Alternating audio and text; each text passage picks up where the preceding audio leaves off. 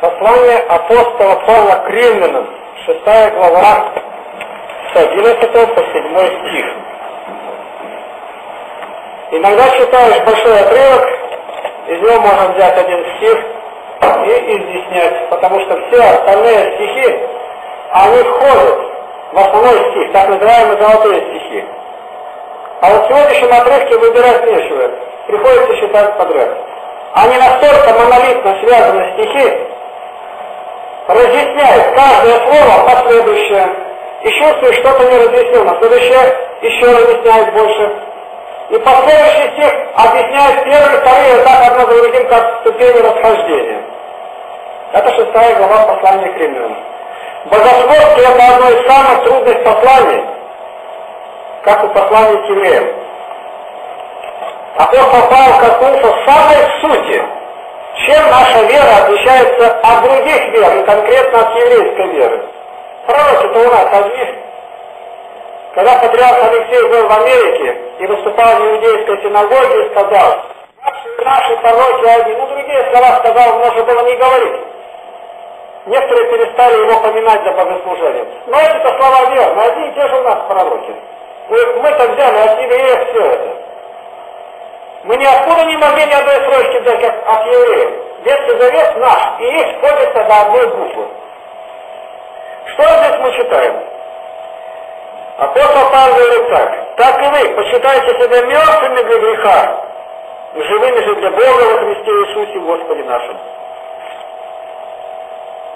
Есть слова апостола Павла в этом послании.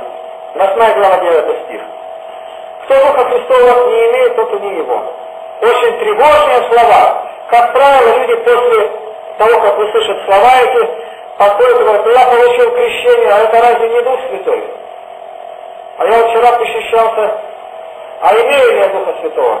Человек сразу в сомнения входит. И есть от чего. Если бы было видимо, если бы сказали, кто бороды не имеет, тот не спасется. И ему полгода нет, тот не христианин. Ты Духа Святого, а иди его проверь. Стяжаешь ты его, приобретаешь ты его, или вообще не касался. Павел пришел в одну общину, все нормально, хорошие люди его приняли, может быть, уже и отобедали. И он вопрос задает им, почему он сказал им? Видимо, что-то заметил в разговоре, ну не в хозяйстве, потому что только что пришел. И вы того Духа Святого приняли? Не крещение приняли, не спросил, причащались или нет. А Духа Святого приняли? Никто бы даже не слыхали, а это такой? Ну, мама прекрасно сказала, мы слыхали, а дальше что? Ну, согласно слыхали, мы заучили, поняли. А вот апостол Павел, послание к Римлянам, 6 глава, это сегодняшнее чтение как раз. Так указано в календаре, видимо, утром читается. И говорится, что разница такая же, как между живым и мертвым. Можем отличить живого и мертвого. Вот мне узалку холодный, подними, но видно зрение, погасли, зрачки нет. Примерно сразу прямая линия идет, никакого колебания, биотока в сердце нет. Но мертвого от живого почти всегда можно отличить. Вот редко-редко, когда бывает в таком состоянии человек, что даже похоронник его не заметит, такое слабое сердцебиение. Но обычно, Павел говорит о том обычном состоянии, живые и мертвые. Итак, почитайте себя мертвыми для греха. Вопрос, а что такое грех? И вот здесь целый каталог. И человеку на все не укажет, что ты сделал, а ты видишь не так. А почему же мне не сказал? Я не знал. Так что, разве не знал? Я даже не догадывался, что это грех. Вот тут-то и есть Дух Святой. Дух Святой, Он научает без научения. Глубины познания Писания, одно место сравнить с другим, это нужно научать. Для этого есть блаженные такие власти, Азатаут. Но правильно или неправильно поступить учить не надо. Это в тебе уже есть. Пророк говорит, и не будут учить, познайте путь Господень, ибо сам Господь будет учить. Прямо пророчество говорит. Сам Господь тебе подскажет, а как? Через совесть. В крещении, когда человек погружается в перед этим его священник спрашивает, веришь ли? И говорит, Господь спасает нас, обещание доброй совести, крови Иисуса Христа, служить доброй совести, обещание крещения. Да, я обещаю. Ты меня крестишь, из воды я выхожу другой, я обещаю служить доброй совестью. А до этого, до этого я служил недоброй совестью. Испорченной, иногда сожженной совестью. И Бог на пепелище сожженного дает новое. Новая совесть. Вот по порядку все стихи, смотрите. Итак, да не царствует грех в смертном нашем теле, чтобы нам повиноваться ему в похотях его. Не царствует. А он подходит, подходит, но ты его задушишь, ты его отвергнешь, ты его не примешь. Разница-то вот в чем. Я сегодня спрашиваю на одного прихожанина, тут жалоба была, я говорю, а сколько тебе лет? Одиннадцатый, то есть ровно десять. А почему же ты сквернословишь? И ты же мне давал обещание не материться. Я воздерживаюсь. Воздерживается. А христианину-то воздерживаться не надо. У нее другая природа. Вот свинью можно научить грязь не ложиться, она все время будет подходить и воздерживаться. А овечку не надо учить, она не вяжет. Это другая природа. Я воздерживаюсь и не пью. Христианину не надо воздерживаться и не пить. Если ты рожденный свыше, тебе это противно. Тебе это страшно, потому что это отдаляет от Христа. Это тебя поселяет в гиене, пьяницы Царствие Божие не наследуют. Повторяю, я абсолютно за сухой закон, ни грамма нигде, не считая, что в церкви, при венчании и пришествии. Никогда и нигде. И не потому, что это грех, а потому что не надо. Бог дал нам разум, его нужно все время развивать. Все мы могут служить Богу. А если ты пропил, значит не все ему служат, а только то, что осталось дом найти. Может неправильно даже въехать, и ворота не заметишь. Разница-то какая? Итак, не предавайте члена вашей греху орудиями правды, но представьте их, представьте себя Богу, как оживших из мертвых. Еще один стих поясняет. В орудие неправды нельзя отдавать. А мертвый отдает, мертвый духовно он отдает. Он не может не грешить. Он на каждом шагу грешит. Он или думает, или смотрит, соблазняется, рассказывает, он не может. Вот дети пришли сегодня, до школьного возраста еще, и у них нет благоговения к храму. Это самые негодные люди, которые вырастают из таких людей, когда нет благоговения перед святым местом. Я слишком много в жизни видел детей священников или дети подерушек, вот они в храм забегают, бегают, смеются, вот как сегодня себя ведут. Так что священник, как хозяин храма, обязан был вывести их, а там никто не смотрит за ними. Это люди негодные, такие как дети священника Илия, они развращали народ, блудили при храме жертву потребляли прежде того, как принесут Господу ее. То есть они хватали все, что на столы кладут и тащили, пили и веселились. Я стал смотреть, исследовать это место Писания. Страшное место. Оказывается, слово «умереть» в Библии встречается 351 раз. Чтобы понять, что такое умереть, это надо 351 раз коснуться истории, которая говорит о трагедиях, какие были прежде. И слово смерть встречается 539 раз. И того вместе 884. Я вам даю математику, чтобы понять, что Бог многократно предупреждает, чтобы мы не умерли. Сатана скрывает яму и говорит, ничего нет, путь безопасности, чтобы столкнуть. А мы за тысячу верст вперед и говорит, там яма, чтобы не упали. Вот это разница. И человек, верующий, знает что-то, но еще переспросит. Даже покупая что-то, он не то переспросит, а как это? Вот берут и едят колбасу. Я в 62 году обратился и любил колбасу. И я узнал, что готовят ее, забивая электрическим током скотину. И кровь не выходит. 15 глава говорит, и если с кровью. Все!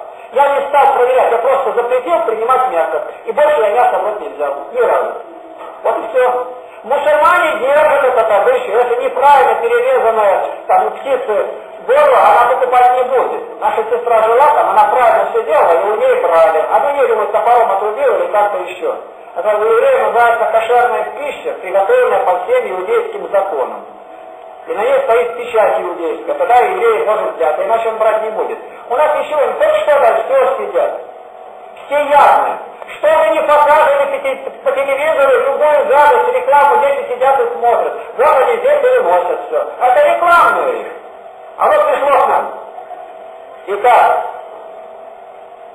слово смерть идет вслед за словом грех. И когда человек согрешил, появилась смерть. Я решил посмотреть, что если 884 раза говорится о смерти, то что же грех? Грех встречается в Библии, слово грех согрешить 1069 раз. Еще больше. Ведь это, это даже уму непостижимо, как Бог нас любит. Бог может почти 2000 раз говорит нам только в Библии, а сколько мы в жизни своей видели, пусть все смертные, и напоминает, и зовет, и благословляет на добро. Послание к римлянам 8.10 Христ, апостол Павел говорит, что проверить человека можно. Как? Он говорит, если Христос у вас, а иди проверь, жив он или нет. Если Христос у вас, запятая, то тело мертво для греха. Вот как узнается. Есть Дух Святой, и тебе противно это будет, а не то, чтобы ты искал где я воздерживаюсь и курить не курю, а сигары у меня леденцы лежат. Тебя отвратительнее этот запах будет напоминать ад, гиену. Не просто чужое взять, а ты увидел чужое или скотина, или вещь, ты будешь ходить и кричать, кто потерял? Кто? Живой и мертвый. Кто Духа Святого имеет, в нем чаяние Духа Святого. А я не знаю, о чем молиться. Дух Святой ходатайствует воздыханиями неизреченными. Дух Святой. Апостол Павел коснулся глубины спасения, о которой евреи не подозревали. А евреи, уверовавшие во Христа, они принесли свои обычаи. Вот если человек из старообрядцев приходит в церковь, вот, так, он все время где-то вылазит с такими наш, второстепенными вещами, которые ставят на первое место. Вот два перста, иначе Бог не верит. Христос так благословил. Ну все это знаем, остановили Христос. Да это не имеет никакого значения. Первые христиане, может быть, вообще не, не слагали пальцы. Мы считаем, только Златоуст говорит, первые христиане молились одним перстом. Другие, как Милети, пишут тремя перстами, и потом только уже двумя стали. А у католиков пятью пальцами. В послании к Ефесянам 2.1 апостол Павел говорит, и вас мертвых по преступлению. Человек от чего умирает? От преступления закона. Значит, его надо знать. И греха вашим. Значит, надо знать, что такое грех. И крепко это посадить в ребенка. А животворил, воскресил, запятая, посадил в небеса. Как можно узнать, человек в свинарнике живет или на небе посаженный? Мертвый или воскрешен? Ну разница должна быть, что спрашиваешь-то ты? С человеком заговоришь и видишь, не знает, не чувствует. На выход, на выход один, простите, молиться. Крещение это первый шаг. Это акт рождения. А дальше духовный рост должен быть. И притом не через месяц, а через день. Сразу же. Вот в 2005 году у нас 10 июля было крещение. И я подумал, люди, которые принимают крещение, осознают ли они до конца? Вот иногда подходишь после того, они говорят, а что я теперь должен делать? Так что у вас кто знакомый есть прием крещения, подходите, спрашивайте, как твоя тропинка к Богу не заросла? Побуждает тебя внутренний твой дух стать на молитву, вопросить Бога, прославить Бога. Послание Колоссянам 2.13. Павел говорит, и вас, которые были мертвы по преступлениям. Это пишет другой конец Вселенной. И опять те же самые слова. В Откровении 1.5 говорится от Иисуса Христа, который есть свидетель верный, первенец из мертвых, который освобождает нас, омывает от грехов наших, нас кровью своей. Вот теперь дошли до сути. Где крещение? Как омывает кровью, верой мы его принимаем. А далее дорожное возрождение свыше мы должны донести. Некоторые не признают воскресением. Он женщина еще нет вопрос на могиле. В Деяниях 26.8 апостол Павел выступал перед правителями, большими начальниками и говорит, неужели вы невероятно почитаете, что Бог воскрешает мертвых? А ведь наша страна 70 лет била в одну точку, чтобы люди не верили в воскресение мертвых. Жили правильно, они вот кодекс строителей коммунизма был. Да зачем же жить-то правильно? И мы видим, что нельзя жить правильно. Это только обман. Ты ради чего должен жить правильно, если там ничего нет? Обещание ради будущего благ. Страха ради будущего наказания. Почему Христос, Евангелие от Луки 15.24 говорит, когда отец принял блудного сына и говорит, сын мой был мертв и ожил. Вот такая разница. Ты был мертв и ожил. У тебя были мысли, бродил где-то, думал, теперь это вся сладость и радость отошли. Организм будет работать на отторжение. У меня есть записи, я записывал, от репрессированных. Она говорит, мне было 34 года, ну женщина не стала 34 года. Как только арестовали, все женские прихоти отошли. Засохло, все, ничего нет. 10 лет отсидела, ни разу ничего не было. Обыкновенно все прекратилось. И ничего не делали, ничего не, все отошло, ничего нет. А чего? Страха ради. Вот так человек уверовал во Христа, все эти прихоти, они отойдут. Засуши это все. Не просто там сделать брак, выпить в ужас придешь от одной мысли, да неужели я мог себе допустить такую мысль? В третьей ветре 7.39 говорится, молился Илья за мертвых, чтобы они ожили, за мертвеца, за мертвеца. Так если человек принял крещение и даже называется братом, и тебе кажется, что он поступает не как живой, возьми его на заметку. И моряков ловят на абордаж сзади, чтобы тащить его. Ну как, застрявшая машина вытаскивает. Псалмопевец Давид показывает, каким образом можно получить животворную силу. 118 Псалом 37, 7 стих говорит так. «Отверзи очи мои, чтобы не видеть суеты, животвори меня на пути твоем». От суеты надо отгребаться. Не надо ссылаться на то, что у меня много работы, поэтому я в храм не пришел или что-то. Им еще надо говорить. Зато говорит, не хватает времени, приди в храм, на все будет хватать. И Псалом 118, 40 стих. Вот я разжевал повеления твои, животвори меня правдой твоей. Чтобы оживотвориться, нужно читать Евангелие, просить Бога, молиться, искать Его повеления.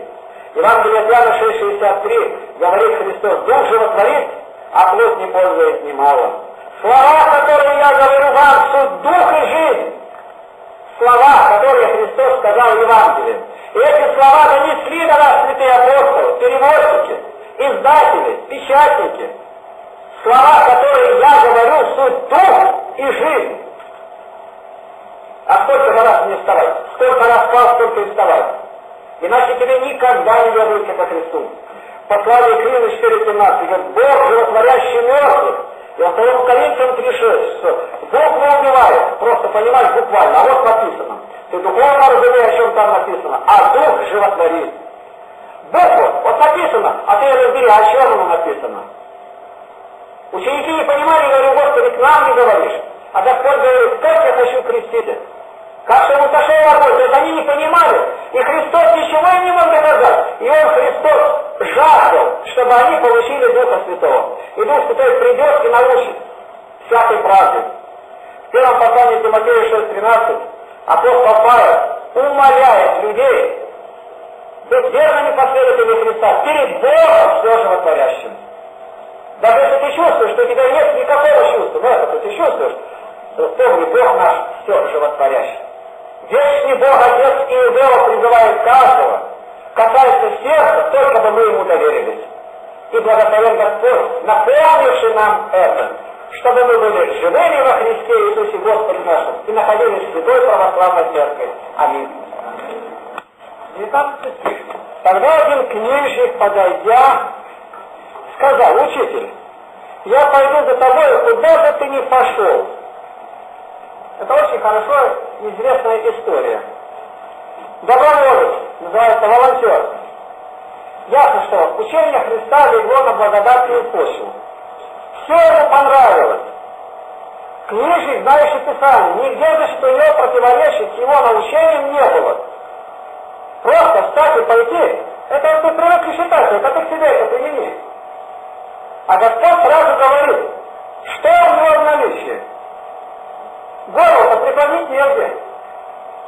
Строитель на третьем месте. На первом месте земледелец, животновод, еда, живот.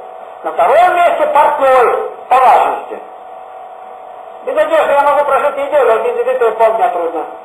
Второе это портной. А третье это строитель. Хоть я полгода проживал, через полгода надо куда-то залазить. И Господь выводит на первое место вот это третьестепенная должность. Птица имеет гнезда, зверь имеет норы, а Сын Человеческий Христос не имеет где голову преклонить, нет кровати, нет подушки, нет постели. Вот к себе примените это все. Я когда читаю Писание, оно живо и действенно касается меня. Я не могу найти, но если место нахожу, место, где не сходится с моей биографией. А это у меня было. Я был демобилизован по психиатрической статье, потому что говорил о Боге, и меня уволили. Из армии привезли. У нас в армии служили латыши, и мне не очень нравились. Я решил поехать в Литву, в Латвию. У меня нет ни паспорта, ни военного билета, и по карте в Москве пальцем водил, нашел портерый город Липай. Ничего не знаю, ни языка, ни слова. А я портерый, значит, пограничный город, и в нем прописки нет. Вот я приехал, свет, и в кармане у меня было 6 рублей. Ну, чтобы понятно, что такое 6 рублей, билет стоил от, от подстекловского раздела от нашего до Барнаула 2.30. Ну, от сравни, 2 туда. Что делать? Я пошел в строительную организацию, а там говорит, у вас нет документов, кто вы такой, как примем. Надо прописаться. Но начальник сказал, а говорит, прописки здесь нет. С чего мне начать?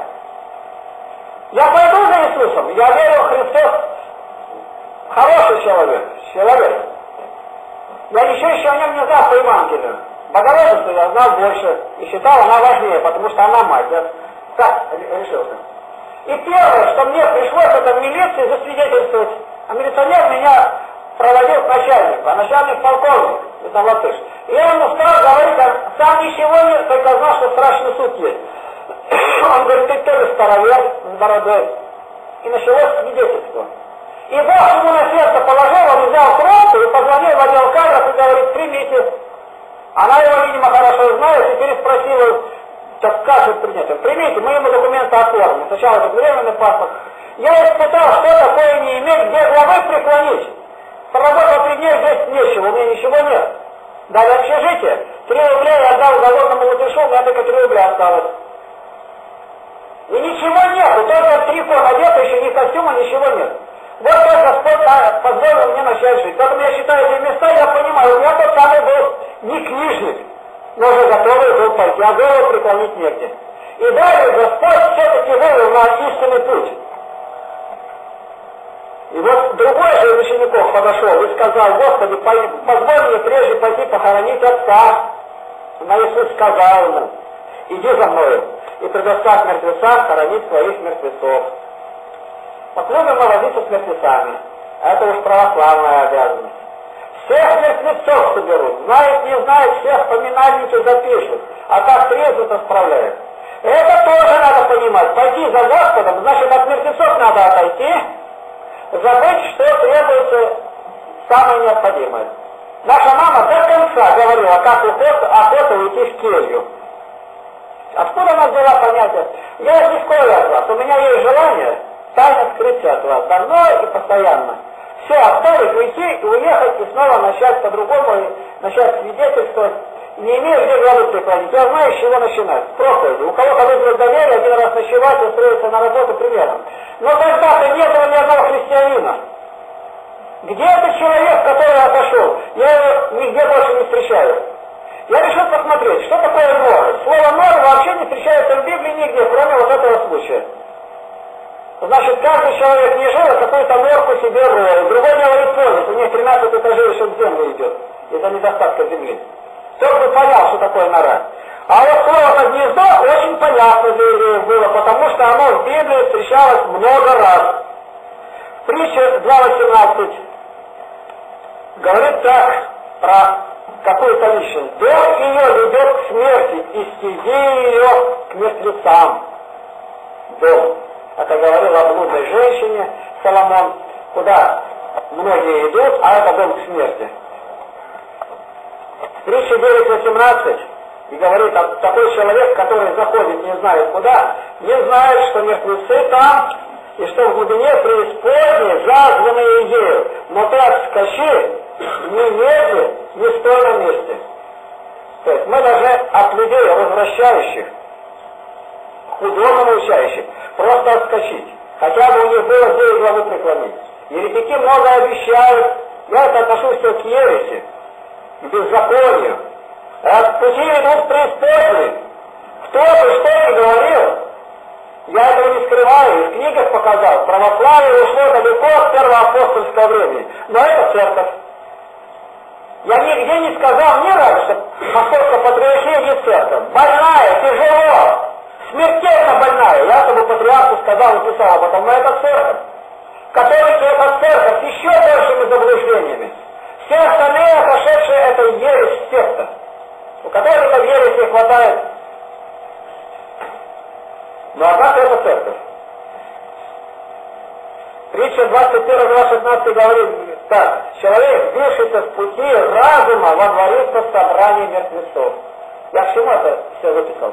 То, что говорит, оставь мертвецам хоронить мертвецов. Речь шла не о мертвом.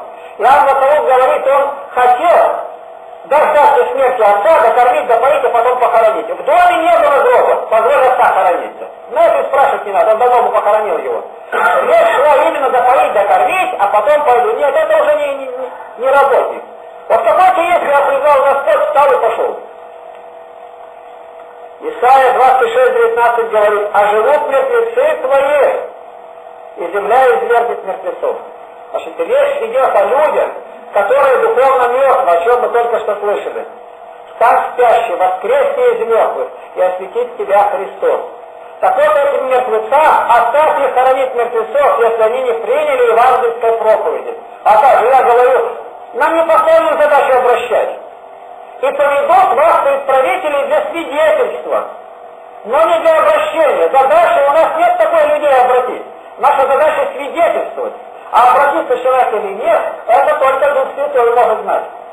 Мы можем сеять всю жизнь, ни один человек не обратится. Бывает несколько семян, и в тысячи человек. Премудрый Соломон в премудрости 18.12 говорит так. Все, все вообще имели бесчисленных мертвецов, умерших одинаковой смертью.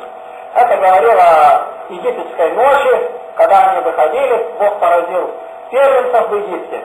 И сегодня, если посмотреть, в России ни одного дома не найдешь, чтобы не было мертвеца. Безбожники, наркоманы, пьяницы, табаколы, сквернословы, люди, не обратившиеся к Богу, мертвецы.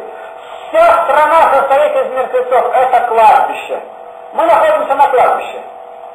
И нам дано право, обязанность, повеление от Христа свидетельствовать. Числа, 24 глава, 21 стих, нам поясняется, что такое гнездо. Сын человеческий говорит, не имеет главу преклонить, а птицы имеют гнезда. На скале положение твое и гнездо твое.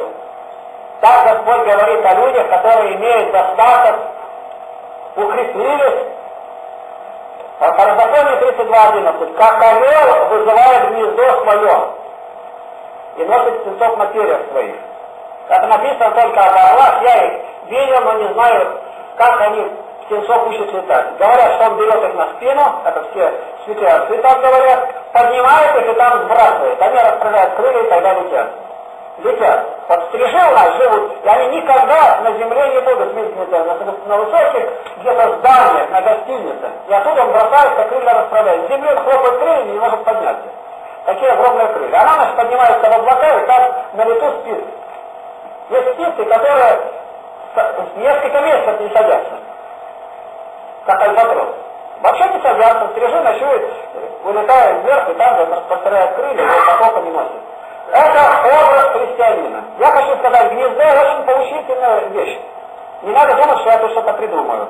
В Ждя святых говорится, когда Маврикий, военачальник, попал в плен, и они пленные отдыхали, солнце палило, и орел подлетел и над ним летал, крылья распустил. А тот царь, который пленил, это заметил. И он говорит, орел царская птица. И он над ним распростер крылья. Этот он будет царем. И он говорит, когда ты спал, орел над тобой крылья, тень создавал. Я верю, ты будешь царем. Так и случилось. Ты заключи с нами мир, чтобы нас войны не было с болгарами, у греков. Так и получилось. Прошлое воскресенье, 10 июля 2005 года, у нас было крещение. В этот же день, когда мы ушли, новые ласточки начали видеть у нас гнездо. И не где-то, а на Японии крещение Господне. У нас крещение тут. И ровно за неделю свили гнездо больше, чем то, которое три года они интересно, эти островинки и само гнездо напоминает древнее многовесельное судно галеры. Я уже стоял там, говорю, это что это означает? Не просто так. С такой скоростью я даже не видел. И травинки, заметьте, как все одинаковые, все висят, может ничего и не значит. Но все-таки давайте подумаем. Новокрещенные люди отправляются в плавание. И они должны приносить плод. Это гнездо. Господь дал вам, где голову преклонить, святую православную церковь. Община, которая имеет в основании Евангелия, веру в Иисуса Христа. Может быть, ради вас это гнездо сотворено, может быть, там стоит иконах нельзя. У алтарей его срок 83-4 стих говорит так, и птичка находит в себе жилье, и ласточка гнездо себе, где положить тенсосы, у алтарей, то есть Господи сил. Как раз алтарь, и Господь сел там, и икона крещения на крещение. Вы просто запомните на будущее, что это все-таки не так просто. А птица много видел видений, каждый герой отдельно что значит. Ездры, в третьей книге Ездры. Многострадальный Иов, 29-18 говорит, везде моем думал, что я скончаюсь. Каждый думает. А прикиньте к себе, сейчас встать и пойти, и больше в доме свой никогда не вернешься, никогда не скрипнешь дверью, никогда вечером не будешь скидывать покрывало и ложиться. А ведь вот к чему Господь призвал. Он сегодня нас не зовет на это, но все-таки, если случится такой пожар, отнятие, все, мысленно мы должны на это настраиваться. И тогда остается одно свидетельство. Все-таки жилье крепко человека привязывает к месту. И Господь мог бы сказать ему, оставайся здесь, проповедуй, организовывай. Ну, делай, что я тебе скажу. Нет, следуй за мною. До конца, в полноте, мы не можем это выполнить. Ну, никуда ты пойдешь, и репетишь в полном доме. Это понятно. Подошел одинокий человек. Ну, все-таки Петр, ты, может, и детей имел. И многие апостолы имели жен. Оставили все, имение продавали, к ногам апостолов. Какое имение продавать? У нас каждый литр молока это валюта. Каждый цыпленок на счету. Сыновей надо учить, дочерей надо поднимать. Поэтому вот то, что мы слышим, применяя к себе, скажем, а мы все-таки не такие. И взывая к ним, к тем, которые были, и к мученикам, царственные мученики, то есть все оставили, ну, отняли у них, так скажем. Они испытали это все. И сегодня они ходатаи наши, те первые христиане, царственные мученики, память которых церковь совершает сегодня, что Бог дал нам силу. Премудрый Соломон 27.8 говорит, как птица, покинувшая гнездо свое, так и человек, покинувший место свое. Сравнение какое? Готовы мы или нет? И на молитве он вздохнул сказать, а я не готов, Господи, а я не похож. Я не могу. И потом возноситься нечем. Мы карикатура против первых апостолов, первых христиан. И Екклесиаст 7.9 говорит, не будь духом твоим поспешен на гнев, потому что гнев гнездится в сердце глупых. Мы сами, наше сердце является гнездом. Вот что. А в гнезде нашем сердце должен быть дух, а тут написано глупого гнев гнездится. И еще мы читаем у Иеремия 49.16. Грозное нахождение твое и надменное сердце твое. Они обольстили тебя. Но если бы ты смел гнездо свое, и на столе, и оттуда я не завину тебя. Как бы мы хорошо не были, какие бы должности не занимали, это гнездо может быть не от Господа. Самое прочное гнездо это то, которое нас виде ласточки. Это значит приблизиться к алтарю и веровать в него. И если нам Господь сказал это, давайте хотя бы аллегорично понимать, что, Господи, мы идем за Тобой, мысленно мы готовы уже всего этого лишиться.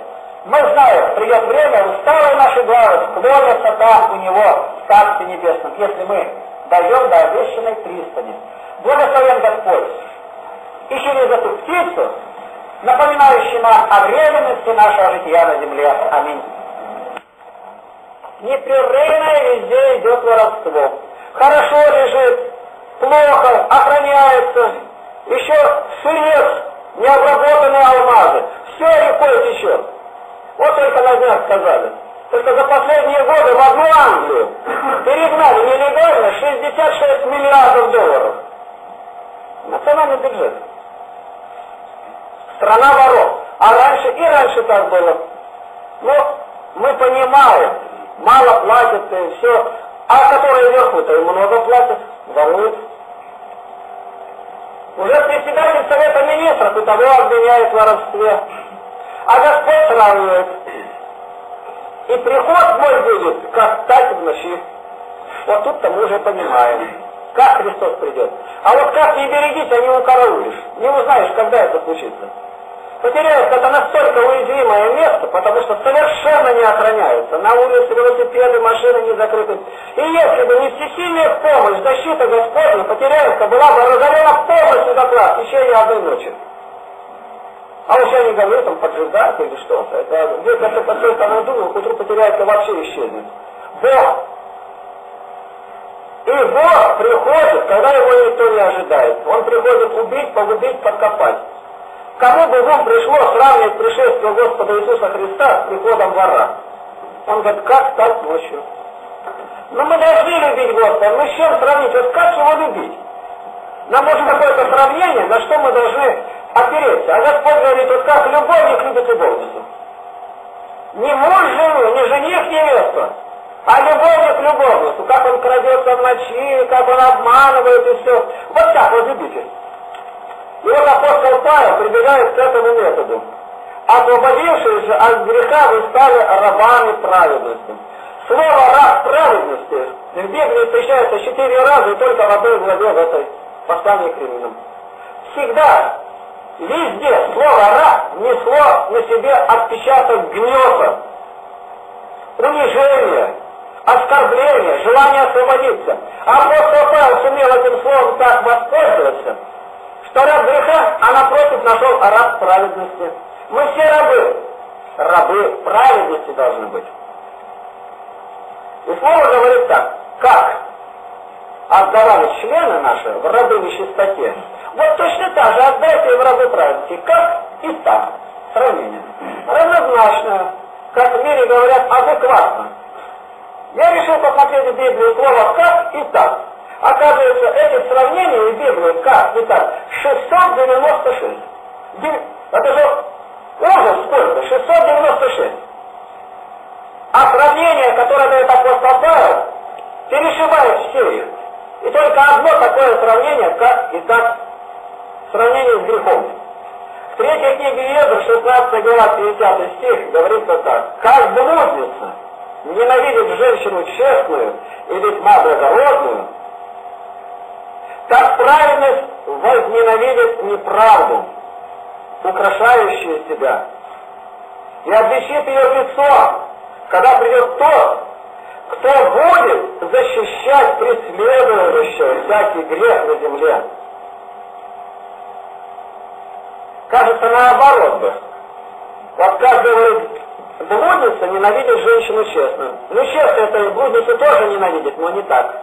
Та просто отворачивается, а это ненавидит. Она все сделает, чтобы она была неподобна ей. Или мысль распустить. Вот как она, недобрая, добрую женщину ненавидит, вот так мы должны возненавидеть неправду. И эти люди получат награду. А у нас сложилась такая обстановка. Если человек сделал неправду, скрыть я этого не видел. Совсем маленький, ругается скверными словами, Другая я слышала, сказала, уже блатной жаргон, она меня заложила. Разве это не говорит о том, откуда он эти слова набирает? Это, в общем-то, у нас обстановка не сравнить с соседними селами. Но, однако, пророк Иезекииль, 3 глава, 18-20 стих говорит так. Если ты видел беззаконника и не обличил его, не подсказал ему, он погибнет, а кровь его я с тебя разыщу.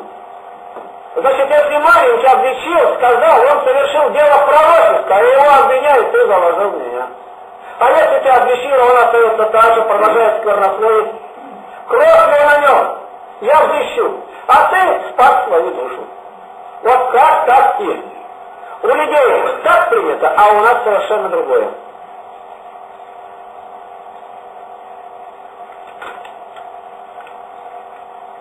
Был такой разбойник Алексей Мурзин. Мурзин значит негр, черный. Перечисляется, какие преступления он сделал. Был сильный. Но когда обратился к Богу, он решил так, как сам делал. А делал-то он ужасно. Он воровал, тащил. И сила была у него огромная.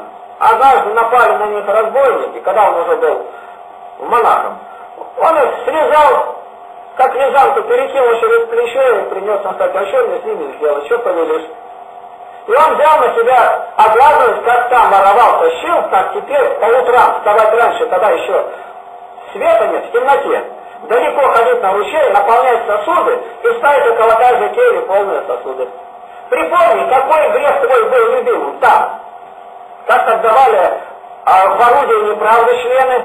Вот так послужите теперь. Какой у тебя был талант? Я стал смотреть в Библии, образцов таких не очень много, но в житии находится достаточно. Вот как, так и. Означает, если ты любил выпить, тратить, посчитай сколько. У нас была одна сестра и говорит, ее отец однажды дома был, э, на постели э, размылся, говорит, мать, вот если бы все собрать, что я пропил, вот улицу нашу вполне можно было построить. Это только не считаешь. Мы как-то посчитали папиросу человек, который курит, и оказалось, что она длиной почти докончена. А он сидел, сосал, сосал, дымил. Так вот теперь посчитай, сколько ты потратил, и эти деньги теперь потрать на милостыню. А вот тут сразу начнется подсчитывать. Ой, да как я, так сколько? Ну ты живешь, у тебя дети, скотина, птица, огород, работаешь, благословенный труд. Но ведь мы не знаем, что дальше будет. Бог может в один день отнять. Молодые бегут, смеются, за руки взявшись, спрыгнули, не повернули голову, электричка ударила, сразу обоих убила. Дети остались сироты. А вот если остается один из супругов, Господь потрясает человека. Конечно, как в ярмарке суеты написано у Каменского, сразу интерес люди идут на ярмарку и начинают искать, кто подобный ему. Вторичный брак запрещает. Снова оковы заковы, а другие делают не так. Умерла жена, и он понял, это знак. Бог его призывает. Вот какой вывод человек делает? И теперь все силы, какие были у него на построении семьи, на то, чтобы воспитать детей, все это бросает на помощь ближнему. Вот такой случай был с патриархом Никоном. Я говорю только сам случай, не его действия. Какие были у него. Ударила жена, и вскоре дети отошли. И он принял, что это знак. Господь призывает его. Был такой архимандрит, он жил еще не архимандритом, в дальнейшем будет митрополитом. Ищет миссионера на север России. Обращали это как? Подарками, спиртом. Захватили север, а народ совершенно неверующий. Наконец пришла мысль, надо их обращать. Кого? Бросили клич, Санкт-Петербург, не один. Москва, не один. А то у Якутска нашелся священник. Внезапно умирает жена, он сразу принял это как знак. В дальнейшем это будет один из самых великих миссионеров мира. Весь север будет его. Он изучает языки, переводит Евангелие.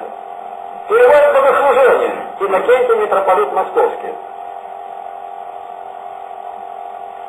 Человек, если принимает на себя какое-то бремя, он должен посмотреть, как у него было раньше. И эти силы направить на что-то другое. А не так, как сегодня видим. Жил, трудился, принял монашество, ничего не делает, спит. Мне приходилось близко быть с монахами. Они не просто спят, они просыпают всю жизнь. Никакой заботы нет, ни о чем. Только одно думаешь, уж, Господи, если что-то случится, какое-то событие, ну, да ему подражать семейным. Ну, семейные, посмотри, как они трудятся, выгоняют скотину и прочее. Если у тебя эти труды сегодня в удовольствие или тяжесть, но останешься один, заранее обдумай это и скажи, а вот тогда я все это, и не меньше того, посвящу для Господа. Как образец это апостол Павел. Был Саул, знал, выискивал, выслушивал, где находятся христиане. И он увеличил в десятки раз стремление к греху, какое было, стремление сделать добро. Он не только до Дамаска дошел, а говорит до Иллирика, до концов Британской, Британии, где только он не был, Испании, в Испанию собирался, это Великая Римская империя. Все было под ногами его. И апостол Павел имел моральное право сказать, как предавали члены своей воровьей неправды, вот так точно, с таким же настроением, усилием, усердием направьте на дела праведные. А для этого нужно сесть и рассудить. Таких людей найдешь очень мало. Просто обратился и засох. Так и стоит на одном месте. Какие у нас таланты были, когда мы не обратились к Богу?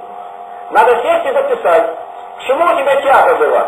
А теперь, если сам не можешь, проси более опытного, скажи, а что есть напротив? Я обратился в христианство. А как это могу употребить? В Ветхом Завете немного было специальностей. Никто не знал, как сейчас электроника, программистов. Но Господь на каждой специальности, какая была у людей, ставил свое клеймо.